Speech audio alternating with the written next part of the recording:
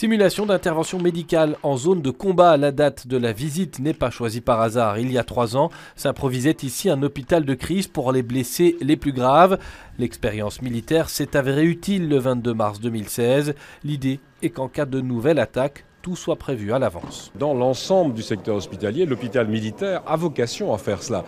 Parce que c'est ici qu'on peut accueillir un grand nombre de blessés ou de victimes après une catastrophe, après un attentat terroriste. Mais c'est aussi ici qu'on peut se permettre d'organiser la formation de ceux et de celles qui auront à intervenir en cas d'événement comme celui-là. Outre l'expérience, l'hôpital militaire de Neder dispose de matériel unique en Belgique, comme ce SMUR prévu pour des attaques et incidents chimiques, biologiques ou même nucléaires.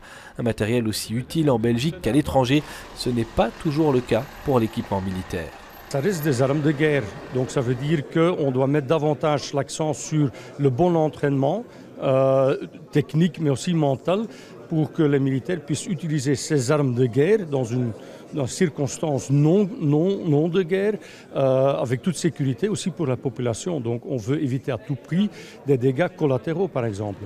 À ce sujet, le ministre de la Défense évoque à terme une baisse du nombre de soldats dans nos rues. Je souhaite que l'on tente vers une diminution progressive. Ce n'est pas le rôle des militaires, a priori, de, de faire cela. On a d'autres opérations à mener, surtout à l'étranger.